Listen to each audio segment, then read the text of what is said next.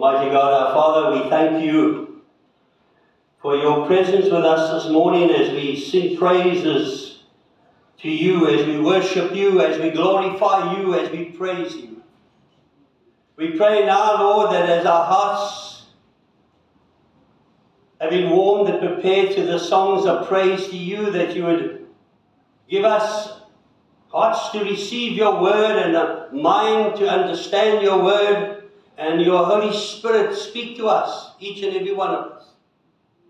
And I pray, Lord Jesus, for the anointing of your Holy Spirit this morning to preach your word. That it come from your spirit and not from my flesh. And so, Father, lead us this morning and bless us now in this part of your service. In Jesus' name we ask.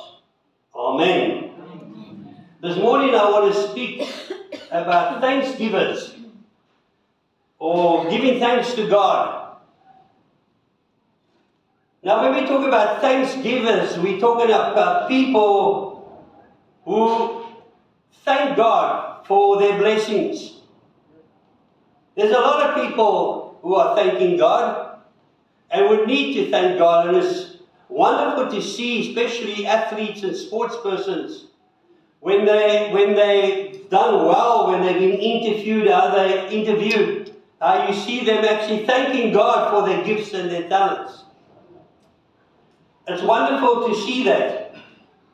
Or we think of a mother when you see a mother's child goes, goes to school and the child comes home a bit late. I remember my mother was waiting for me one day to come home from school. I was only in, uh, I think, standard one or something. And um, I suppose those days it was probably okay for children to walk home from school on their own. But I, she was waiting for me. I, I decided to go play with one of my friends. And about four o'clock, I decided to come walking home with my socks hanging down, dragging my bag behind me, kicking my feet through the puddles of water and whistling like.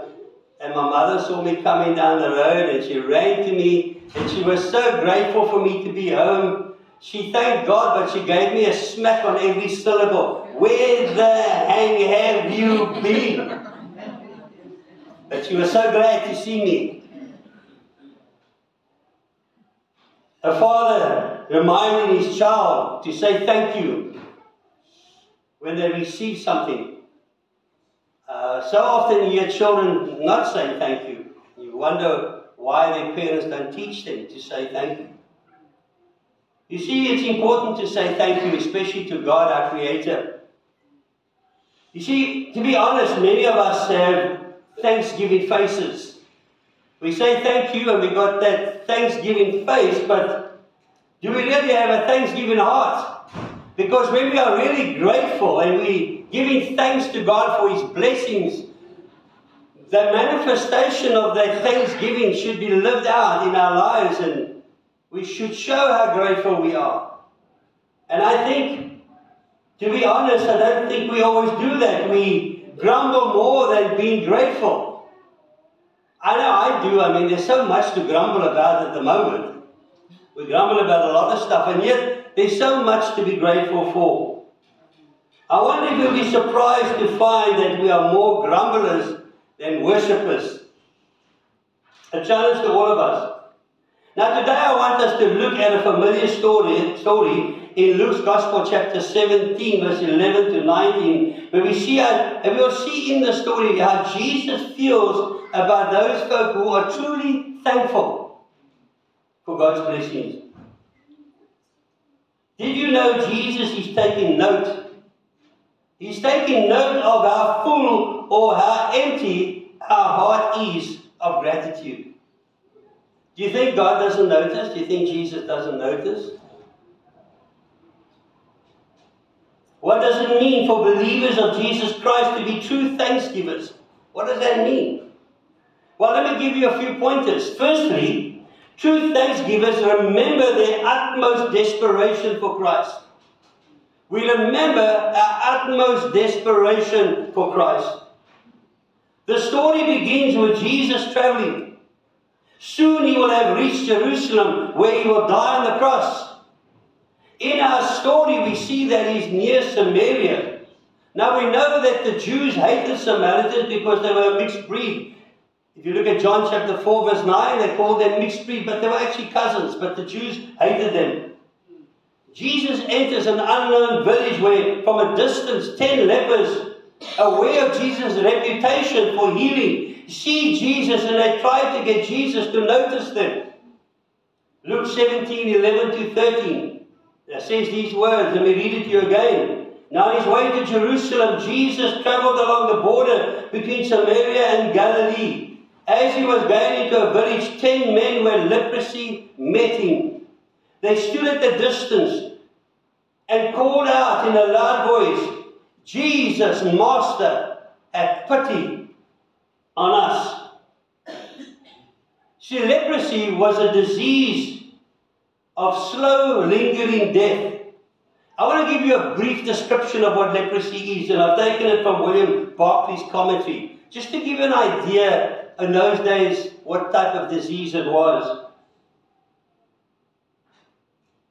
It might begin with little nodules, which go on to become ulcers. The ulcers develop a foul discharge.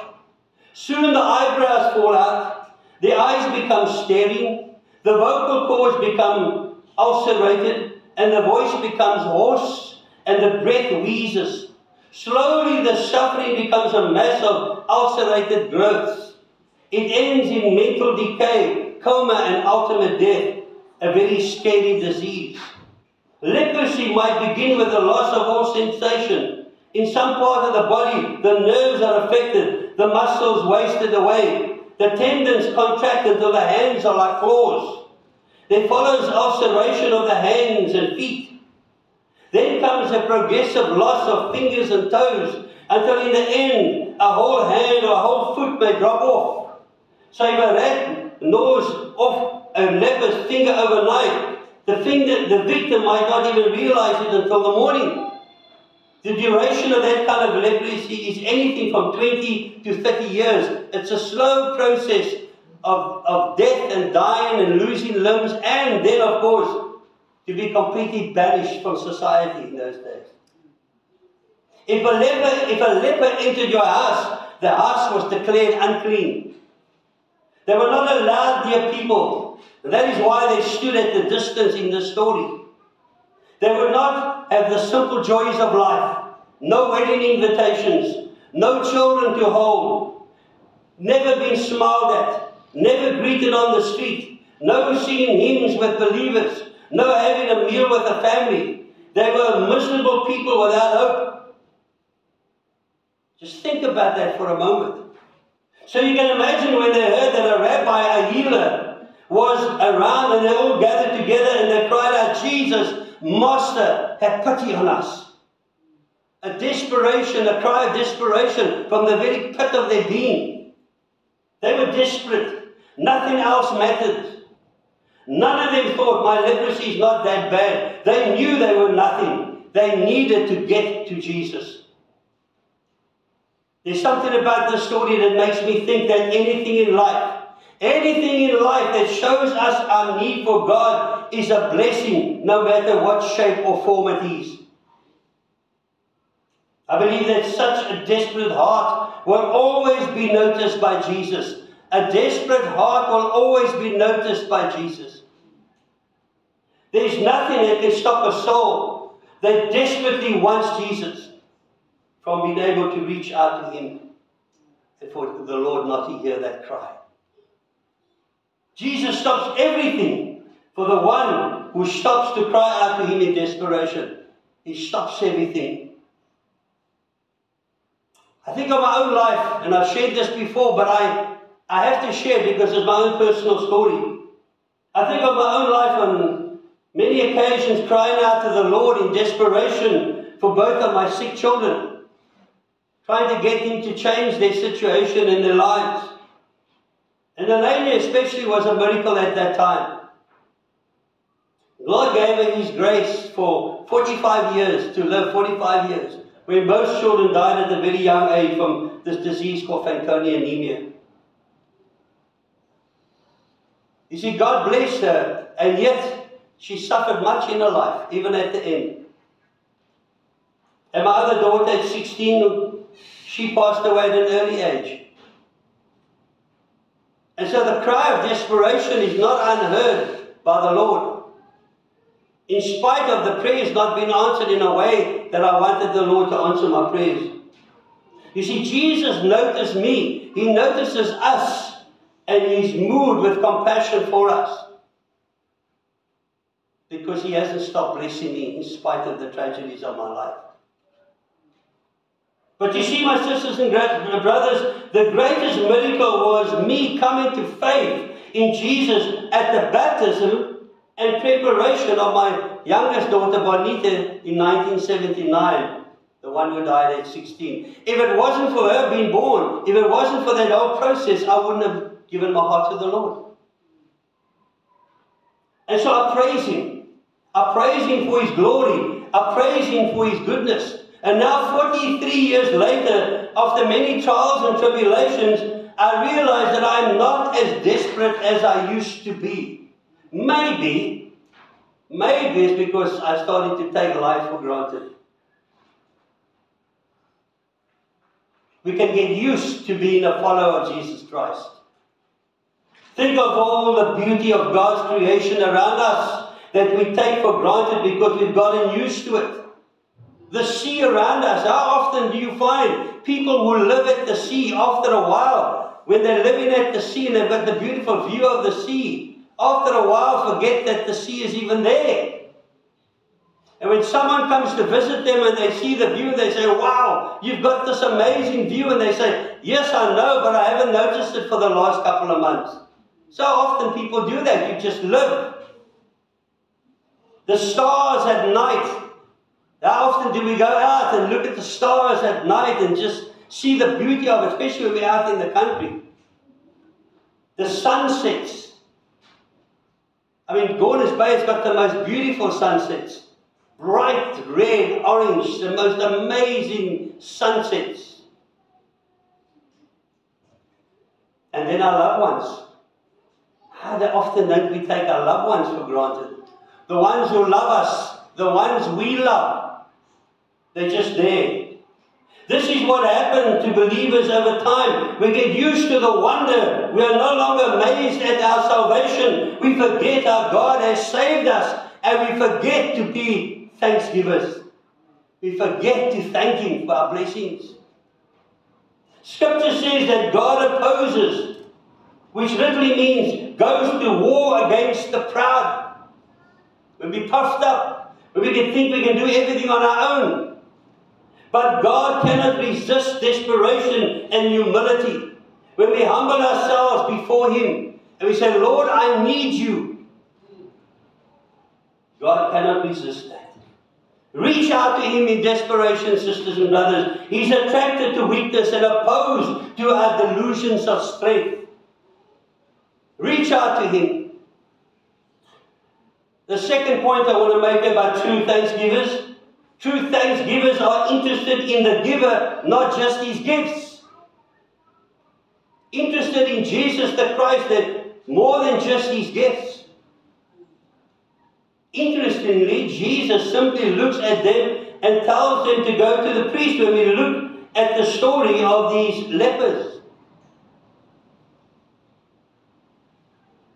Did you notice how he never touched them when they cried out to him? He just said to them, to show yourself to the priest. And we know that Jesus is not afraid to touch lepers. He's done this before. In Luke chapter 5, verse 13, he touched them. And he doesn't even say to them, be healed. He tells them, go to the priest. You see, the priests in those days were the health inspectors. Before you be admitted back into society, the priest had to examine your body if you were a leper to see if you are whole before you would be allowed back into society. So Jesus says, Go show yourself to the priest, let them examine you. Now notice that they weren't healed straight away. And this whole process of the priest looking at them, it's about an eight day process of being examined and then offering sacrifices to God. And then finally they would be re- reunited with their families. Jesus says, Go to the priest. Why is this? I wonder if Jesus is testing their faith. Why didn't he heal them just straight away? And they suddenly saw. But if you look at the scriptures, it says in Luke 17, verse 14, it says, When he saw them, he said, Go yourself, go show yourselves to the priest. And as they went, they were healed. As they were moving away to the, to the priest, they were healed, not straight away. The fact that they weren't healed, they needed to say, I'm going to the priest to check, but they didn't see anything straight away. You see, sometimes only when we take steps in obedience without seeking results will God work. We need to act in faith before you see the results. And when you do that, that's when God will work. This was a massive miracle. This would have been a sight to see. Dead looking faces now have re emerged ears, noses, eyebrows, lashes, hairlines, feet which were toeless, ulcerated stubs were suddenly whole, breaking through their shrunken sandals. Fingers grew back, barnacle skin became soft. What a loving gift stemming from the compassionate Christ. Amazing miracle taking place. And as they were walking, they were physically healed. But one of them was so overtaken by, by emotion, he stops in his tracks. He doesn't go to the priest. He's still a leper. Never mind religious observers, that can wait. But thanking Jesus cannot wait. His spiritual obligation took precedence over all other obligations. Not only does he want to thank Jesus, but he wanted to give himself to Jesus. In Luke chapter 17, verse, from verse 15. One of them, when he saw he was healed, came back praising God in a loud voice. So in fact, the scripture says he was healed and that's when he came back. So I got that wrong. He was healed and then he came back when he saw that he was healed. Notice he's thanking God with a loud voice. Maybe it's time for us to thank God with a loud voice for our blessings. The word loud here is where we get our word megaphone. This was a really loud megaphone praise to God. Notice Jesus didn't demand this praise, but this leper offers it freely. Jesus loves for you to offer praise freely. Ten men prayed, but only one praised. Ten men prayed, but only one praised. As, he, as he's laying himself at Jesus' feet, he's declaring his gratitude and also giving all he has in surrender to, to Christ. So the core of true thanksgiving is humility. Humbly coming and kneeling at the feet of the Lord. He's not simply thinking of God's gift, but thinking of God the giver. God gives you his gifts in love, not so that you'll make idols of the gift, but truly fall in love with him, the giver. That's why he's given you the gifts. He wants you to fall in love with him and use your talents and your gifts. And I point you again to the portfolios. By putting your name there is an act of thanksgiving to God for the talents and the gifts that He's given you. And saying, Lord, I'm prepared to put my name down there for your glory and for the extension of your kingdom. Use me for your glory, Lord.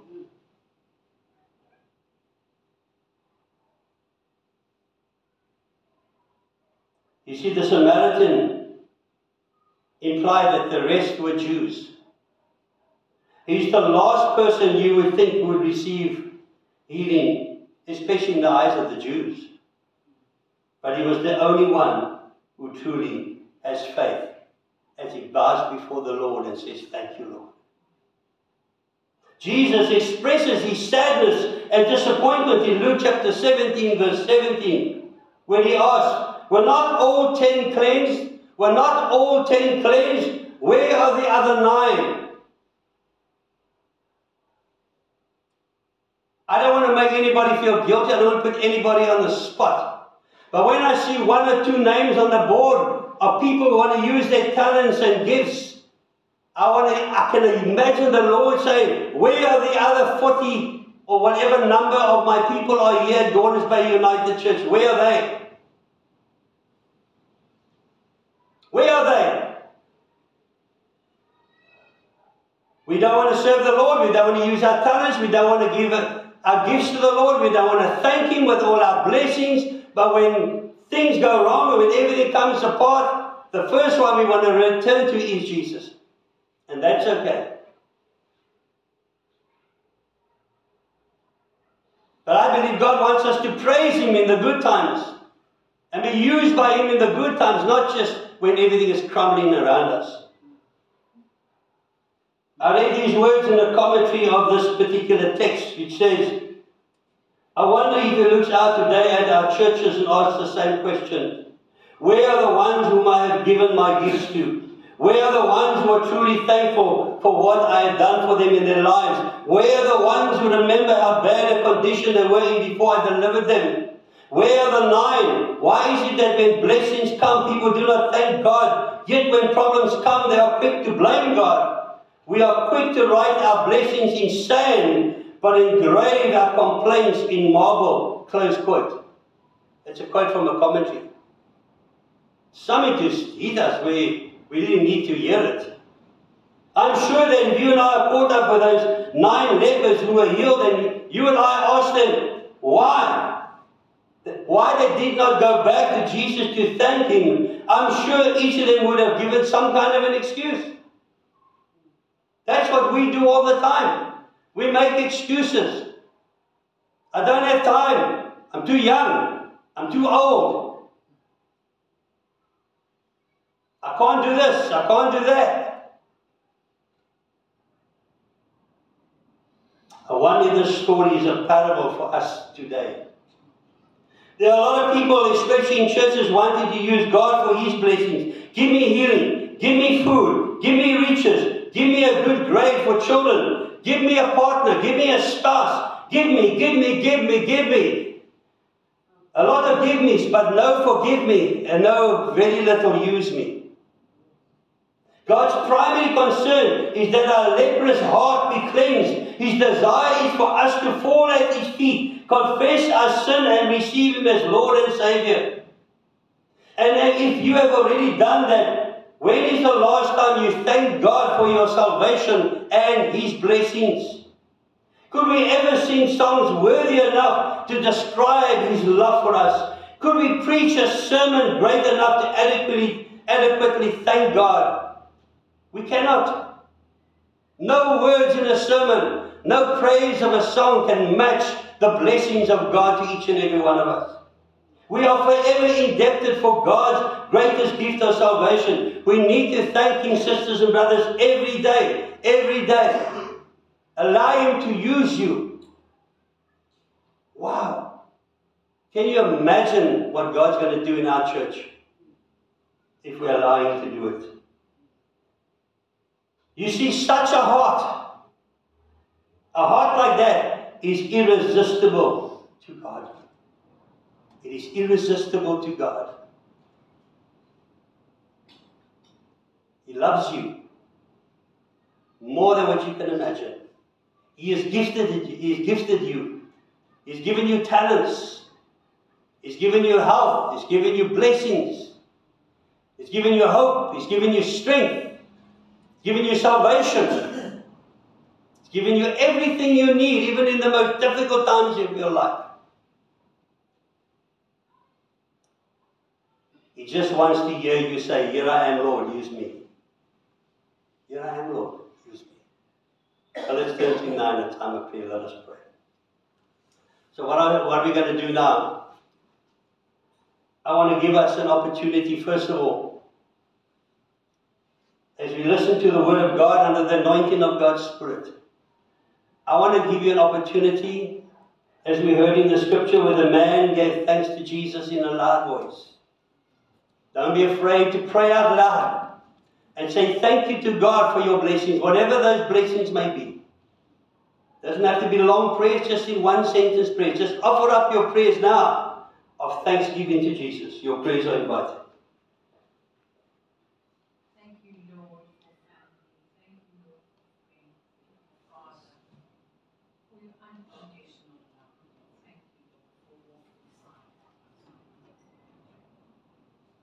Lord for the salvation you Thank you, Lord, that I have the ability to give to others. Thank you, Lord, for never leaving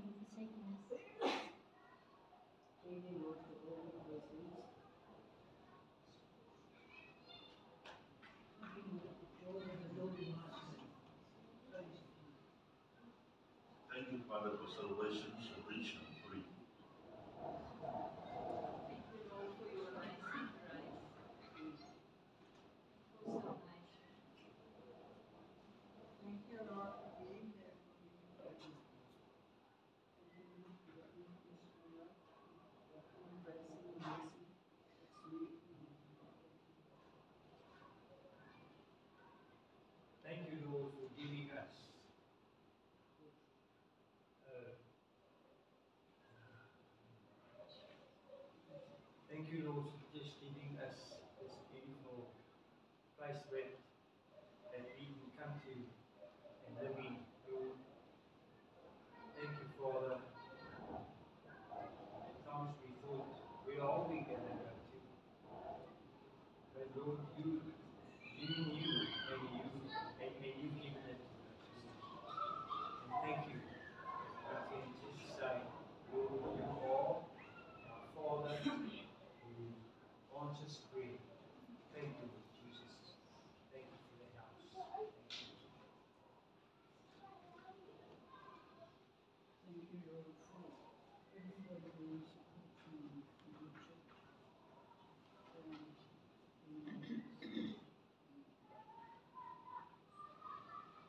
Yes, Lord, each day I have something to thank you for. Every day when I wake up, I just say, Thank you, Lord. Thank you that I can breathe, that I can get out of bed, that I'm still alive. Thank you, Jesus. Thank you.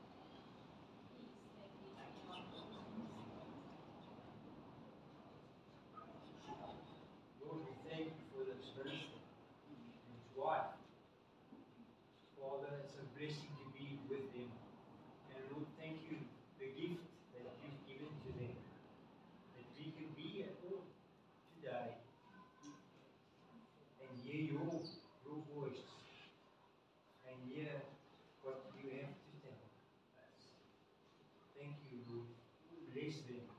Raise them low and just look after them.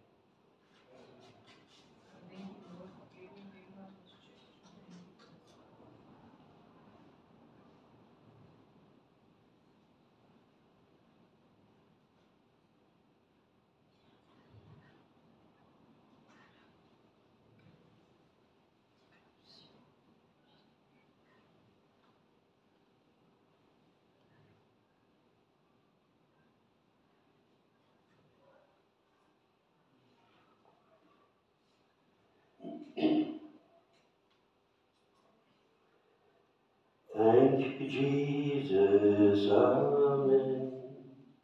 Thank you, Jesus, Amen. Thank you, Jesus.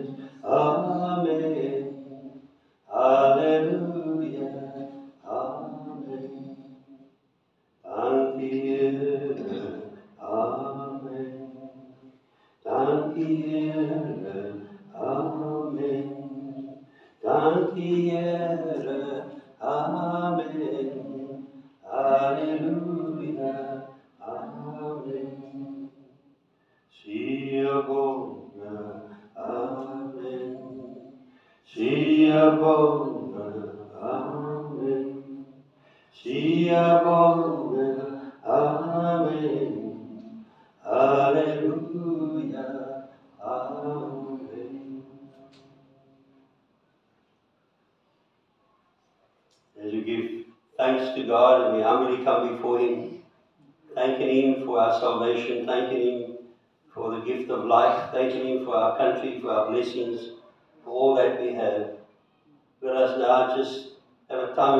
intercession where we pray for those who are sick, for those who are suffering.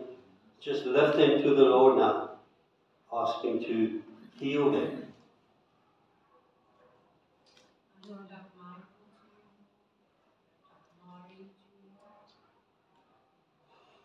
I pray for Ben as he struggles with his back. We pray for your healing power his life. Thank you,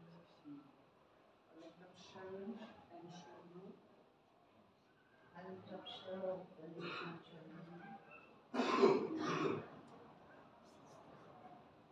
Pray for the people of Yashua, Thank you.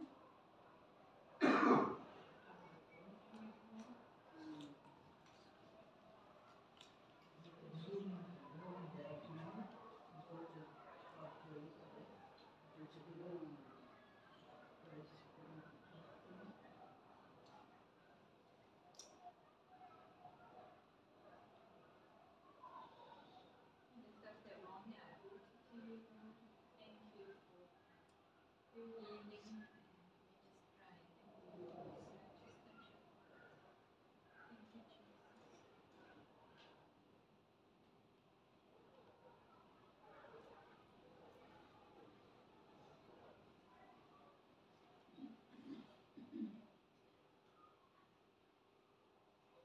Father, as the friends of the crippled man lowered their friend through the roof of Peter's house at your feet,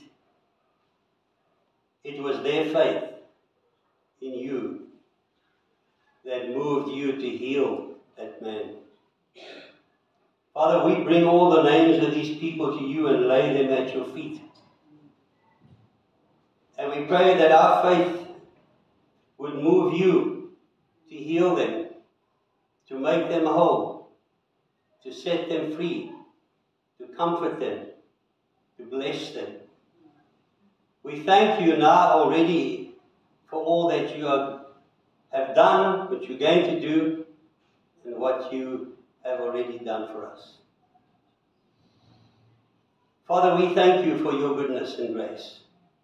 We continue to lift our country to you. We need you to help us save this nation, Father,